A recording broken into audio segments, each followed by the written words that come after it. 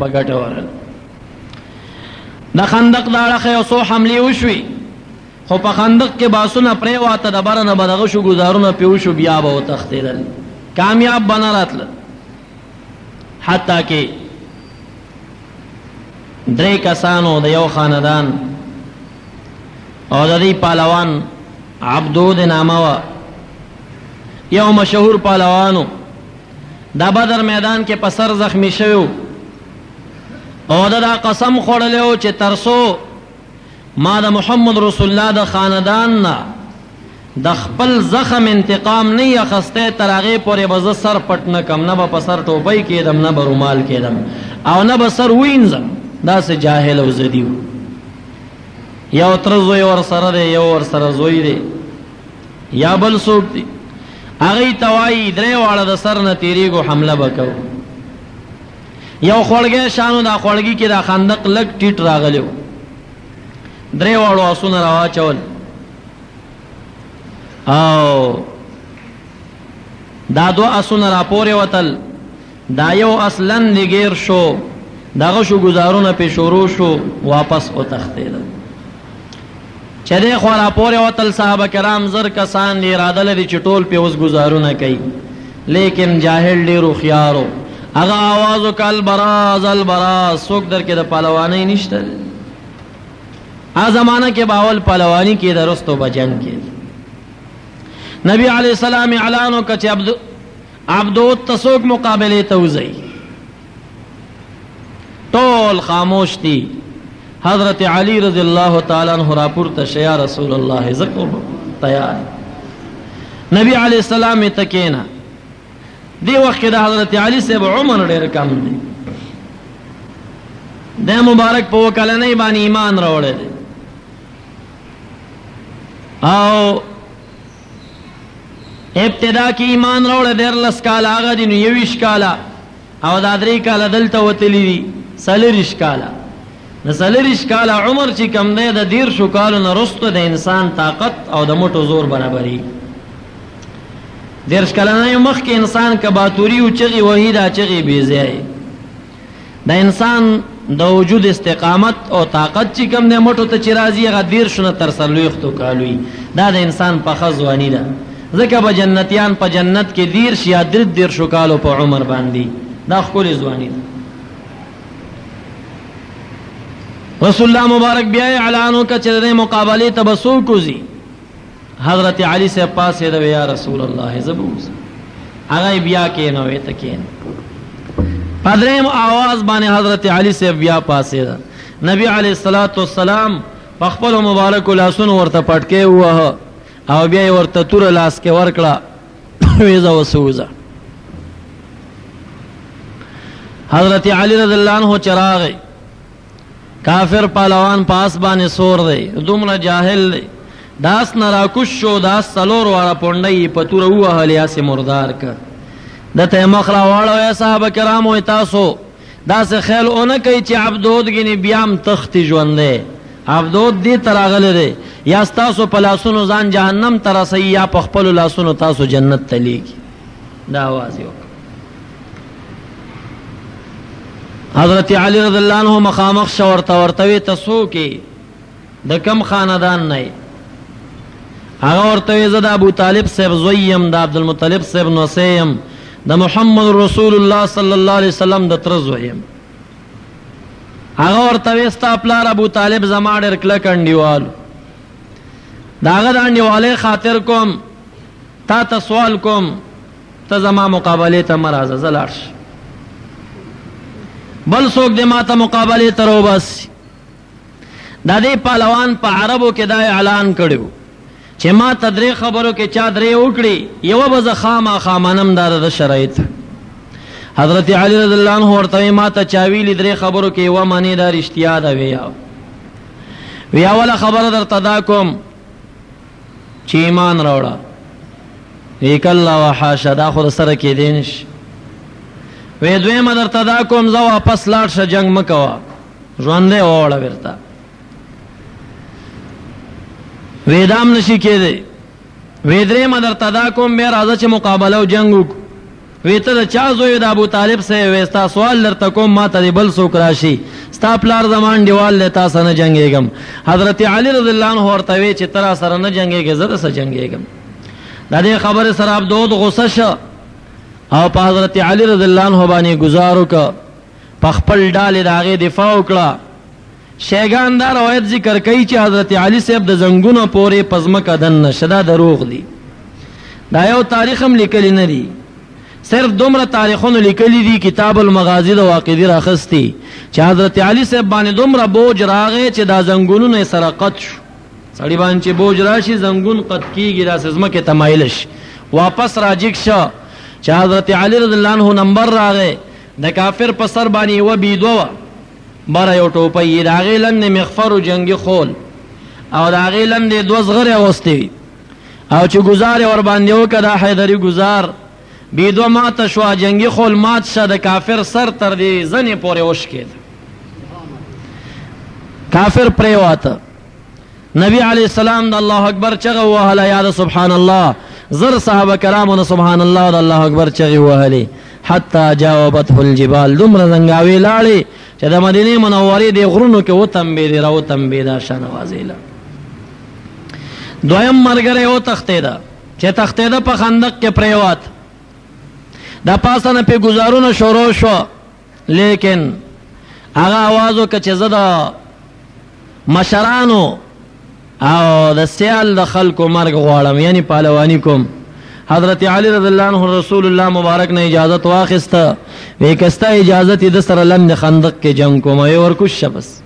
حضرت علی رضی الله عنه خندق ته کوشو د خندق خلص غزا سورو عمل تلند خندق کې په پهلوانی کې کافر مردار دا دواړه کافرانو مړی پراته وو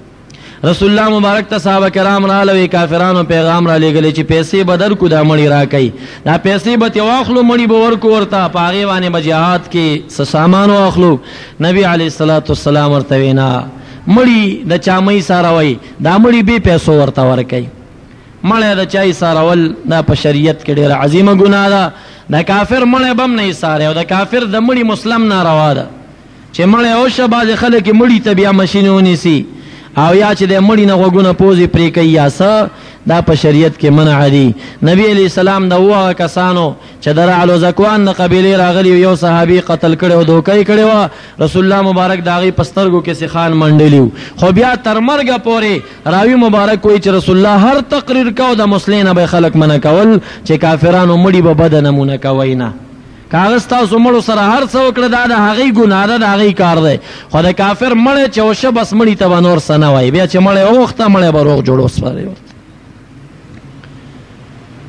یو څو حمله کافرانو نور وکړ لیکن په خندق کامیابې دي نش رسول الله مبارک هغه شپراله سخت تیره ده حذیفه رضی الله عنه فرمایي دا سه تور تیره ده اس خکارینا توره شپه ده وې ما دا لاس راواخست سترګو ته مې نږدې که ما ته خپلې ګوتې نه ښکارېدې او داسې شدیده یخني ده چې هر صحابي د ځان نه کمبلي تاو کړي او صادرونه یې تاو کړي باد راوالوت نبی علی السلام یو سو موټه شګه راواخست او چوف کړه او په وی فرمایل شاهات الوجوه یا دا فرمایل حامیم حمل امر وجاء النصر فعلينا لا ينصرون دا په ولستل جو فکر او دا غړښت چې دا څومره کافران راغلی او د هر کافر سترګو ته دا غشګه ذره ورسید اورون امر شو دیګي واوختل حتی کې بعد دومره زیات شو چې هغه ساروی کمونه سارو پړی وش کول نبی علیہ الصلوۃ والسلام ګرځيږي غزمه کوي دومره یو ورځ په تکلیف راغی چې د سحر منځ د ماسپخیم منځ ماجیګر منځ د ماخام منځ سلور منځونه نبی علی صلوات و سلام او د صحابه کرامو نه قضا شو دې ته څوک نه جوړېدل چې منځ ورکې وکي دومره د غشو بارانو په مدینه منوره باندې په یو ځای باندې د نبی علی السلام نه سلور منځونه او د صحابه کرامو نه قضا شو رسول الله مبارک اخره کې خیره مو کړ چې خدای دې داسې خراب کړي لکه موږ باندې چې د خدای د عظیم عبادت قضا ک بیا یې ما خوستن لاغه ټولو قضایي رو ګرځول دا امت ته یو تعلیم چې جهاد کې سختی در باندې راشي مون به قضا کې خو د کافرانو مقابله وکړي په دې آن کې نبی علی السلام پاس ګرځيږي او اوس یو استاد جاسوس پیدا کوي چې پورې غاړې واړی چې د کافرانو حال څه دی حذیفه رضی الله عنه فرمایي زه په پوه شم چې دا جاسوس لټای یو کند او په دې کند کې پټ شم چرته ماته ونه وای چې جاسوسي ته لاړ شي وې د کندې په غاړه رسول الله مبارک پاس باندې تیریږي وې زما د خپو د شغار आवाज اوریدا ما ته منن ته سو کې ما ورته وې حذیفه وې حذیفه ما وې او را پورته شتم دې کار ته جوړي راځه جاسوسي ته وړه چراله ما ته ما ورته وې یا رسول الله وجود مې رپیږي په ما زلزلہ ما ته دعا وکړي چې ونه ریګم وې زه یې دم کړم وی چې دمې کړم چې پورې غاړه اوختم دومره اطمینان را تنصیب شه ما داسې فکر نه کو چې زه کافرانو درمیان کې ما ویګنې زه مدینه منوره کې د صحابه کرامو ډله کې روان چې پورې غاړه اوختم ګورم ما ته رسول الله مبارک وی کې یو کافر دی وجل شنو وجنه ما به ته ګیریږي تجاسسي تزي استاد وجلو کار نه دی تور را سره دا اوختم اور بل دی یو کس دی ډیر چاق دی او دا لمنې داسې په شا راړولې ده او دا شا دی اور دی اور ته ګرمي ما دی خوا کې مرګري نه تاسو کې چې دا سړی سوک دی وې ما ته وی دا ابو سفیان دی د کافرانو مشر دی وخت کې دی دا ابو سفیان دی درسته ایمان راوړل دا د معاویه سپلار دی د یزید نیکه دی بدر غزا د احد غزا کې هم د مشرو دا ابو سفیان دی وای ما خ قتلول شو لیکن ما ته رسول الله مبارک ویلو چې څوک به وجن نه ابو سفیان اعلان وکړ تیر زیاته داسنه څوک جاسوس در کې رادن نشي خپل مرګره د یو بل نه تپوس کوي چې دا خوا کې مرګره مو څوک ناس دی چرته د رسول الله صاحب کرام در کې رادن نه نشي حذیفه صاحب وی ما دا آواز اوریده ما وی چې اوس به ته د چا نامه اخلې وی مرګری رانه تپوسو کما مکه معظمه کې یو مشر ما دا غنو مرتواخسته چې زفلانه جاسوس ته دروغ ویل شریعت کې راوای خو چې دا اور زیات بعد زیات شعور ملک کټوي واړولې ابو سفیان آواز وکړ، نور دلته جنګ نه کېږي، الرحیل الرحیل، ځئ هر څوک پاس اوښان وسورېږئ تښتئ. وې لاړم د غطفان قبیلې ته هغوی مې اعلان وکړ چې الرحیل الرحیل، ټول وتښتېدل، واپس راپورې وتم، رسول الله مبارک صلی الله علیه وسلم په تهجدو ولاړ دی، په داسې شپه هم نبي علیه السلام تهجد نه قضا کوي، وې چې رالم. نبی علیہ السلام سلام وګرځاو دا کمبل ما تر وګت کوي دی کمبل کې ځان ګرم کا چې رسول الله مبارک تاجت خلاص کا په دې کمبل کې رسول الله مبارک مخ په وغځولې د دې اړه ما ور کې خپل وغځولې په یو کمبل کې ځان سره پټ کړم خبرې راته نه کوي، زه وایي د یخنۍ نه داسې رپېږم. حذیفه صاحب به بیا فخر کاوه، وایي زه هغه څوک یم چې ما محمد رسول الله سره په یو کمبل کې آرام کړی دی او یو کمبل کې مې خوب کړی، دلته بیا نبي علیه السلام دې وده کړی هم دی چې تا ډېر بې خوبي کړې ده. چې کله ښه آرام شو، رسول الله مبارک ورته وایي اوس حال راته ووایه، هغه ورته واقعه بیان کړه چې ټول تښتېدلي دي څوک نه دي پاتې. شپه تېره شوه، نبي علیه السلام صحابه کرامو ته اعلان د زېري وکړ، ټول لاړ خپل کورونو ته ټول په ګردونو آلوده وو چا لمبل چا ځانونه صفا کول نبی علی صلوات و سلام لاړو غسل خانه ته اسلام یو اوی لمبل چوي لمبل د لمبان رستو رسول الله مبارک به د اثر د شکل کې پمنز به لولو خی اړخ سر ګومنز کړي د چپ اړخ سر ګومنزول لا پاتې دي چې د مسجد نبوي په دروازه کې حضرت جبريل عليه السلام په سپين اسپه باندې سور دی ولاړ دی رسول الله مبارک ته مسکا باندې دی خاندي وی تعجب دی موږ فرشتګانو د جنگ صلاح نه دی خو دی او پیغمبرانو بیا صلاح کې خو د لام بي رسول الله مبارک ورته ویلی بیا سا امر دی وی بیا امر دا دی چې ابل شپه بني قريظه د شپې عهد مات کړی دی کافران تختیدلی دی رب ذوالجلال امر را لېږلی دی چې زه اوس په بني قريظه باندې حمله وکا اسم د کافرانو ټولو زور د دین واخله نه د شپې عهد مات کړی دی حمله ور باندې وک نبی علی السلام راوته صحابه کرامو ته اعلان وک چې د مازیګر مون بټول بنو قريظه تر سوي مدینه کې څوک مونږ ونه کوي د مازیګر مونږ به باندې قریظه او ټول رسوي صحابه کرام په لار روان دي د بخاری روایت دی اوسو صحابه کرامو په لار کې وي مونږ مونږ کو چا ورته وی دا مونږ څنګه کوي رسول الله وي بنو قریظه او کې به مونږ کوي هغه ورته وای نه د رسول الله مبارک دا مطلب دی چې ساری گئی ما زنډې گئی ما ځان شپال ته ورسوي او زه په لار روانم د مانزه ټیم دی زدل تمونز کوم دا منع نه دی د قضه امام بخاری شارحین راخسته دی چې امامان د مذهبونو د حدیث خلاف نه کوي ا د حدیث مطلب لټي او اوابیان د حدیث په مطلب نه پويږي لګوره و امام صاحب د حدیث خلاف کړي حدیث خلاف نه یی په دې ځای صحابه کرامو د حدیث خلاف نه دی کړی رسول الله وای مدینه مدینه قریظه کې به مونږ کا وای د مازیګر سې مقصد مقصد دا دی چې دلته مې ساریږي بیا شپه نشي رسولې مزل ډیر دی وختي وختي روان شي نو چې چا مونږ باندې قریظه وترو سوالته وکي چا په لارې لار خو ساریږي ما دا د صحابه کرام دي د رسول الله په قول کې تعویل کوي او مونږ په لار باندې کوي دا ناجیز کار نه دی د رسول الله د یو خبرې صحیح محمل لټول نبی علی السلام روان دی یو بډای زنانه د تپوس ته کوي مخ کې څوک په مخ درلل وی څوک هم نو یو سړی او پسپین اس په باندې سور او ډیر تیز روانو رسول الله مبارک فرمایل دا حضرت جبرئیل علی السلام چې زمنګ نمخ کې د جنگ ډګر ته ځان ورسو کافران چې خبر شو چې نبی علی السلام او صحابه کرام غصه دي ټول ورسېدل یوی قلا ته ټول راغون شو پاره کې محاصره شو شل ورځې قلا محاصره ده د قلا نه راکوزیږي نه او د قلا نه دنه د تورو د غشو بهر نه جنگ نه کیږي اتلسمه یا شپاړسمه ورځ ده ابو لبابه رضی الله عنه یو صحابي دی دا د بنو قریظه او د کلی و ایمان راوړو دا غي یو مشر بر راوخته ابو لبابه ته وای کمنګ در کوش شو زمنګ حال وسنګي ابو لبابه ورته داسې اشاره وکړه په ګوته ګوته پستونی راخ کله چې دا معاملې در سره کیږي بل کار د سنشت چا نبی علی صلوات والسلام ته وی چې هغه خورا کوزیدل تسلیمیدا د ابو لبابه ویرول رسول الله مبارک ابو لبابه ته په خله خبره ونه کړه خو تندی کې لک فرق راغی لګ نبی اسلام زړه کې د ابو لبابه نه خفش دا بازي مریدانو نه پیران خفشي کنه بیا مریدان غاړه کې پړې واچي وابیان وې دغه د شرک کنه دینه غټ شرک شته پیر ته په غاړه کې پړې اچي دی خواران د صحابه کرامو د زندګۍ ناړو خبر نه دي ابو لبابه چې خبر شي چې محمد رسول الله رانه خبره جنگ پرې خو د غزا په ځای پرې خو دا مدینه منوره تر هغه زنانه او ته پړې پلاس کې ورکو ویراشه د مسجد نبوي دی د برجې پورې ما کلک کلک وتړی تر څو چې محمد رسول الله خوشی کړي نه ماغه پورې بززان نه خوشی کوم اے سو رز ابو لبابه د برجې پورې تړل شوی دی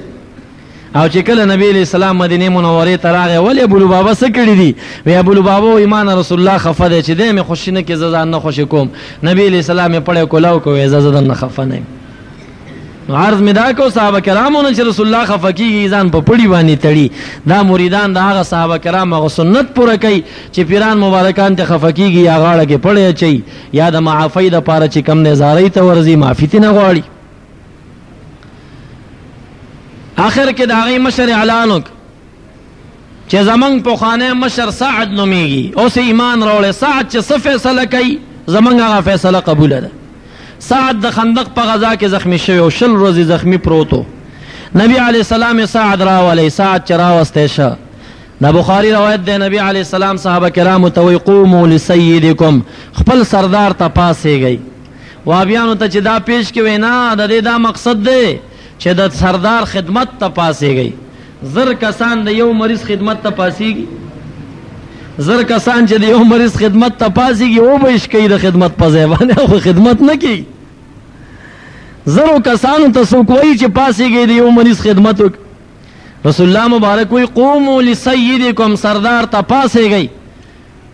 علامه ابن کثیر په دې کې دا روایت راخسته قیل لتعظیم سیدکم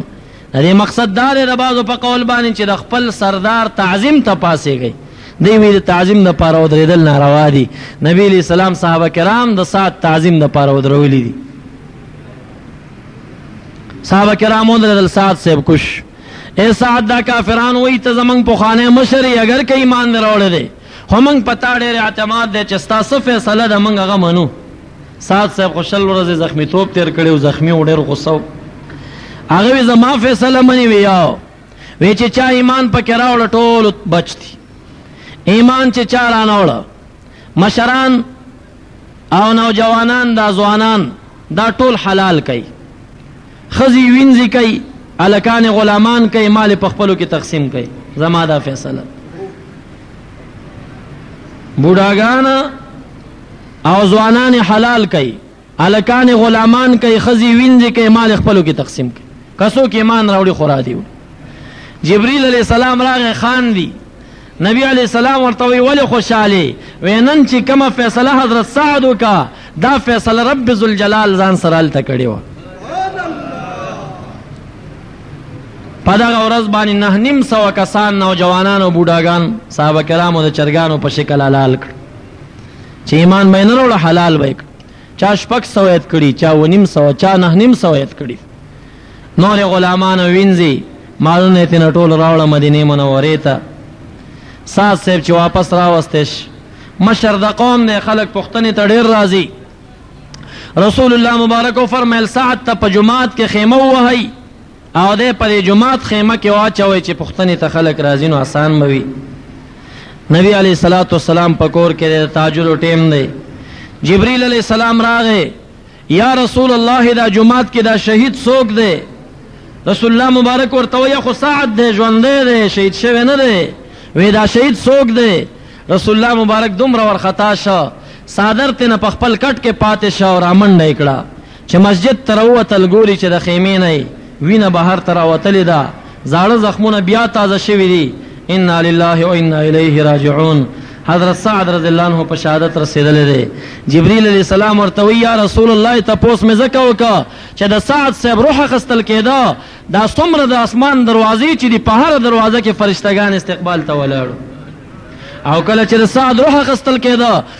واهتز له عرش الرحمن د خدای عرش د خوشحالۍ نه زنګېده دا د روح د پاره چې کله د روح اخستل کېده